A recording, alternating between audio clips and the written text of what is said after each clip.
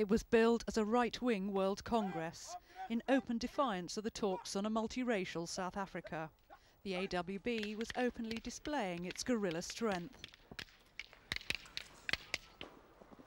Some of the demonstrations were almost medieval in character, but this extremist group is known to possess all the technologies of modern guerrilla warfare. Leader Eugene Terreblanche warns his people will meet the African National Congress over the barrel of a gun. We know that the ANC, they are not a nation, they are just a bunch of political criminals. They are communist-inspired murderers, and we don't want them, nor in the government, nor in our fatherland. Strong words, but in numbers, the AWB may not represent a major threat to the peace process, although they are a warning that the violence won't end with a multiracial democracy. Christine Chapman, Sky News.